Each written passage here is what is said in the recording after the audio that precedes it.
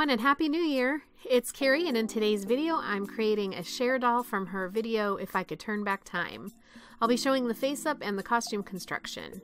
Stay tuned to the end of the video for the final look. So for this particular doll, I've been wanting to make a Cher doll for quite some time, and I decided to put my commissions on hold to do a couple of the dolls I had on my list. So I made this one and the Dolly Parton doll, which can be seen in my last video. I chose this version of Cher because I just feel like when you watch that video, there's just no one cooler than Cher. She's absolutely gorgeous and is just one of my favorite all time performers. So while this one wasn't a commission, she's sold, but thankfully to one of our oldest and dearest family friends, so it's so nice that she's gone to one of the best homes I could imagine. So what I did was, um, if you follow my channel or my social media, you know that I tend to use Ever After High dolls for my projects. However, with Cher's facial features, that particular line of dolls doesn't work, so I decided to use the head off of this Disney Descendants doll and the body of a headless mistress, Bloodgood from Monster High. I felt like this combo worked well with the elongated face and the height. So I rooted her with some soft alpaca, um, some actual alpaca fiber, and ended up just curling it at the end, gave her kind of a layered cut and curled it at the end. Um, that's usually the last thing I do, and it's difficult to film that. Um, so if it's a simple style, I usually don't put that on film.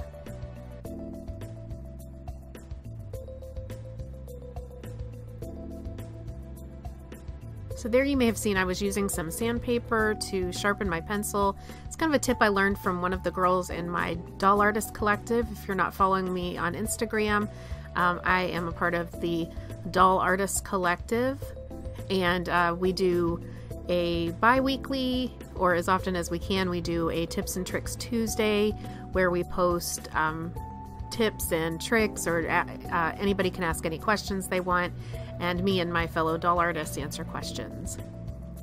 So it's turned out to be a helpful thing for me as well and that tip of just sharpening it kind of saves your pencil if you sharpen just the lead on some sandpaper rather than always sharpening it. We know we can go through these pencils quite quickly if we're sharpening them all the time.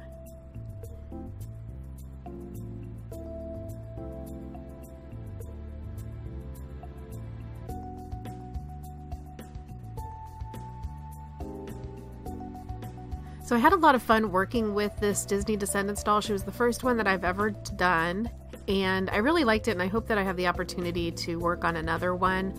I'm not like that great of a fan of the bodies of theirs. I'm just so I think if you're a Monster High or Ever After High fan, those body shapes are just so unique that I tend to be kind of biased and just always want uh, those doll bodies before any other they're okay. I mean, they're pretty good art as far as articulation. I just like the shape of the others. But I really like this face sculpt. It's very different and like it has a more defined nose and more defined lips than the Ever After High, so it was just a lot of fun to work on.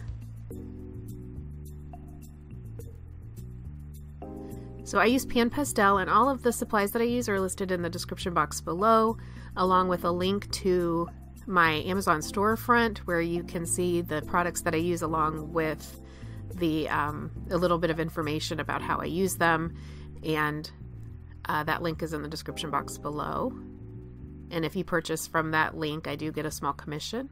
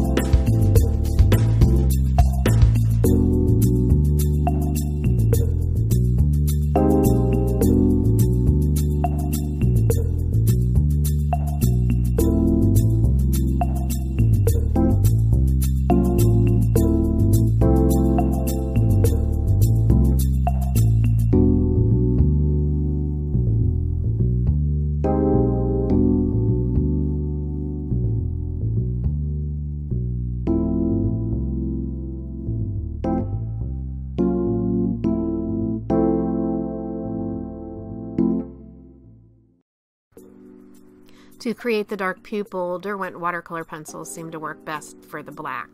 It's funny how different brands I like to use different different um, I like to use particular brands for particular things. Like if I want a dark color, I tend to use the Derwent because they really are heavily pigmented. But then I like to use the Faber-Castell Art Grip Aquarelle for fine details because they're they have a harder lead.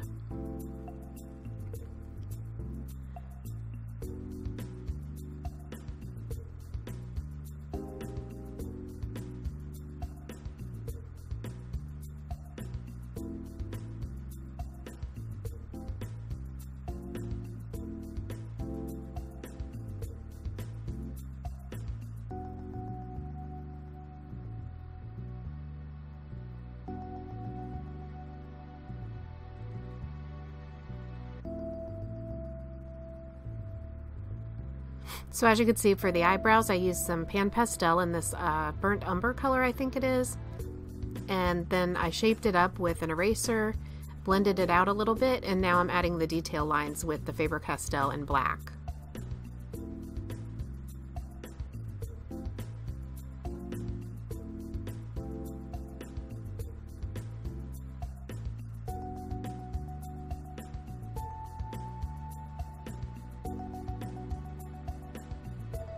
I'm adding some white highlights under the brows to just to have her eyelids sort of pop. It really adds to the like heavier eyelid that she seems to have. And adding some highlights on the interior of the eyes as well.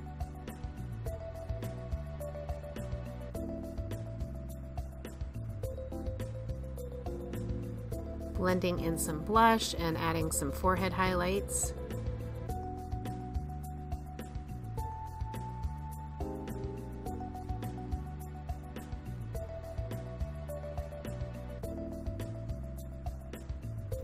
Let me know in the comments below if you have customized uh, Disney Descendants. I'd love to hear what your thoughts are on the dolls. I really love the face sculpt. Still prefer the Ever After High and Monster High bodies, but these faces were really fun to work on.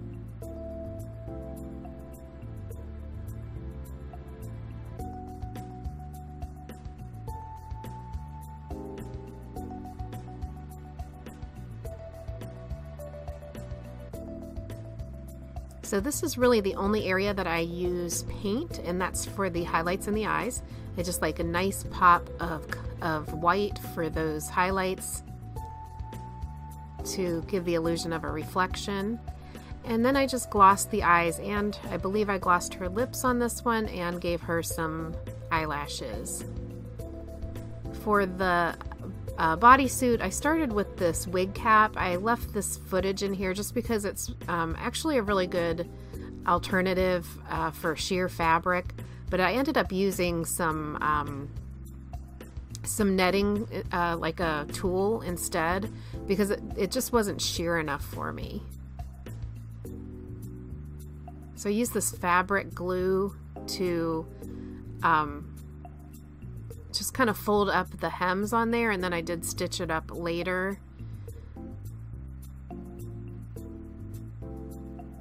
And I'm just making her leather jacket. I'm using this faux leather or just a vinyl.